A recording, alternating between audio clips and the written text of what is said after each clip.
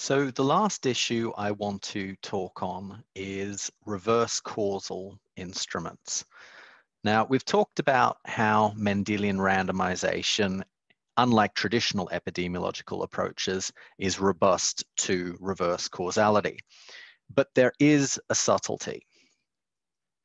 So I want you to imagine that you're interested in the relationship between type 2 diabetes and body mass index.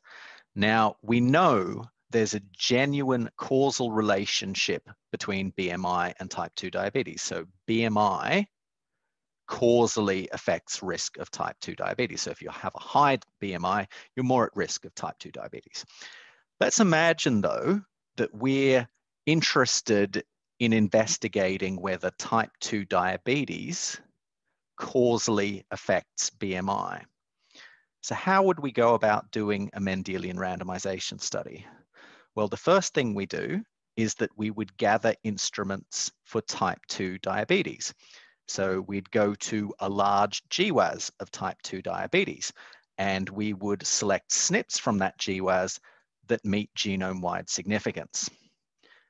But there's a complication here, because if you look at that GWAS of type 2 diabetes, there are variants in it, like at the FTO locus, that are actually associated with BMI.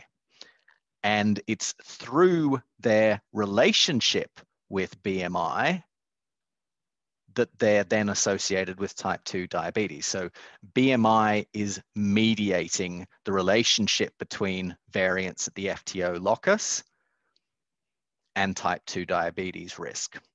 So in other words, if BMI is causal for type 2 diabetes, if you have a large enough GWAS of type 2 diabetes, you're going to start finding variants at genome-wide levels of significance that's primary association is with BMI and not type 2 diabetes. And that's problematic if you include those variants in an MR analysis and you think that their primary association is with type 2 diabetes, when in actuality, their primary association is with BMI. So what can we do to avoid including reverse causal SNPs as instruments in an MR analysis? Well, there is a simple procedure that you can use. And the rationale goes something like this. If a SNP is correlated with an exposure, let's say variable B, and variable B causes variable C, then the correlation between the SNP and variable B should be larger than the correlation between the SNP and variable C. And so you can construct a test statistic to test whether that's the case. And it's called a Steiger test. So the Steiger test will examine whether the SNP outcome correlation is greater than the SNP exposure correlation.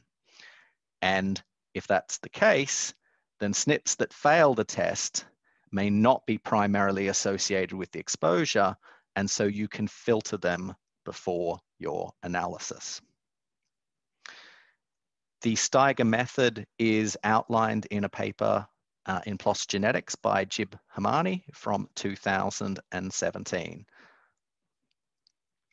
So in summary for this entire uh, lecture two session, um, we've looked at inverse variance weighted um, Mendelian randomization. So this is kind of the most powerful option um, you have for doing Mendelian randomization, but its weakness is that it assumes the absence of horizontal genetic pleiotropy, which obviously um, may not be the case in reality.